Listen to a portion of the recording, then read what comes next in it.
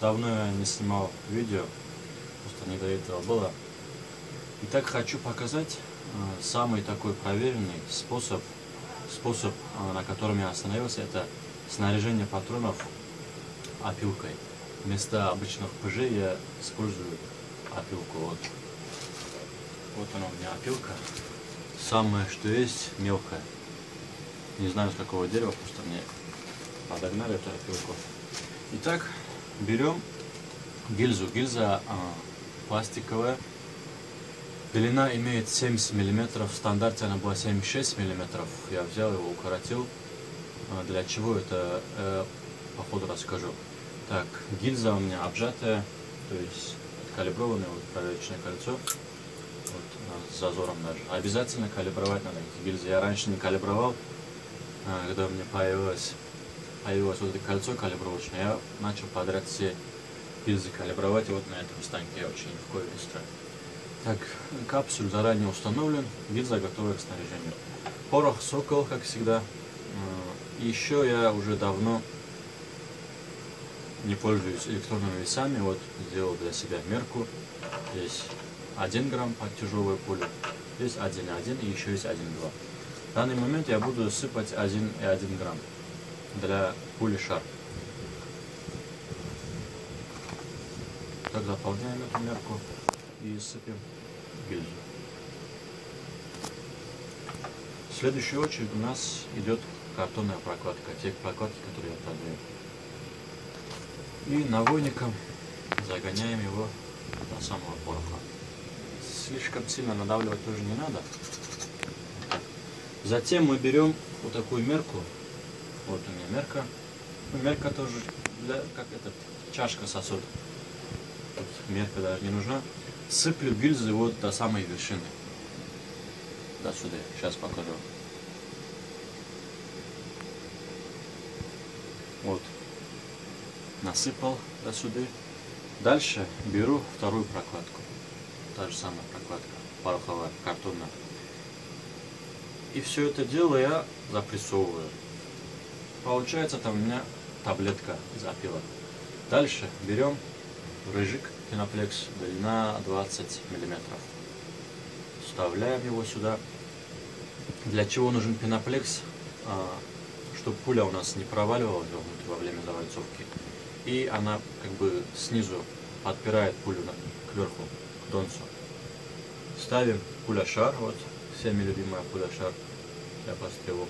И вот так пальцем слегка надавливаем, и торчит 3-2 мм.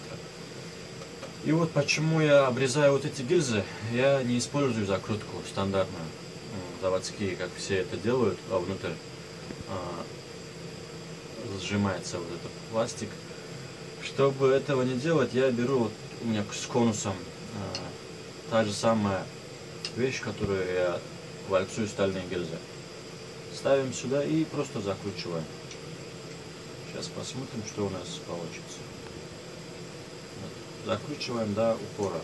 Сильно тоже нельзя делать, а то у нас пластиковая гильза слабая слишком. Вот это вместе она может, может прогнуться. Вот слегка получилась завальцовка. Этого вполне достаточно, чтобы с магазина в патронник она досылалась в автоматическом режиме.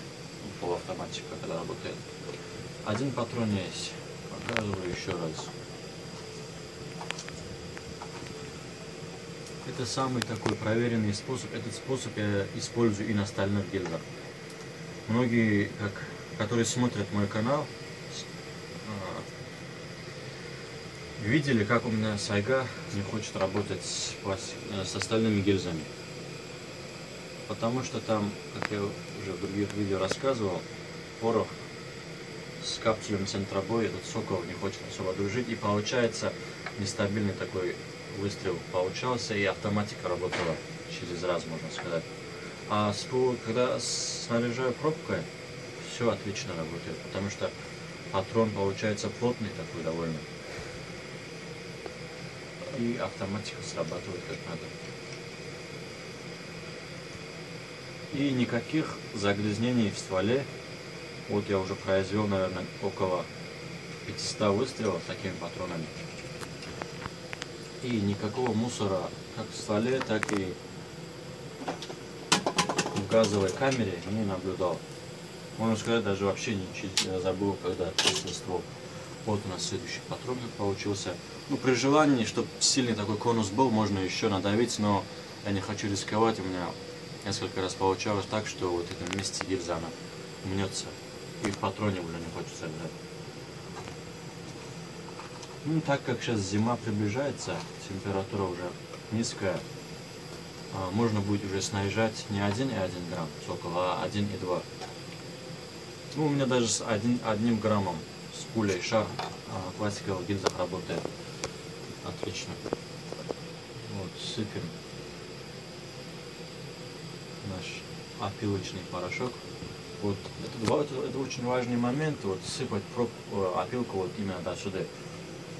А то если мало насыпем, то у нас с пеноплексом даже будет проваливаться пуля вовнутрь. Вот, получается вот пеноплекс вот до сюда доходит.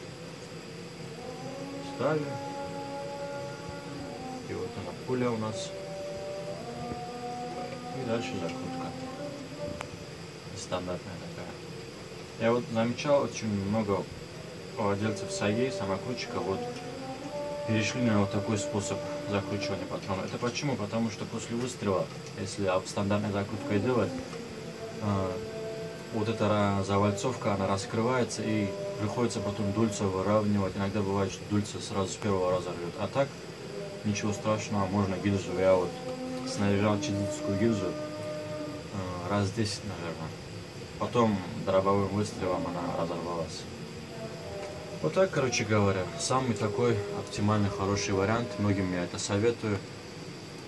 А, бесперебойно работает автоматика и кучность, а, что самое важное, стабильная очень получается на 30 на 50 метров. Тот же самый способ можно использовать и под тяжелую пулю. Всем пока, подписывайтесь на канал, смотрим и комментируем.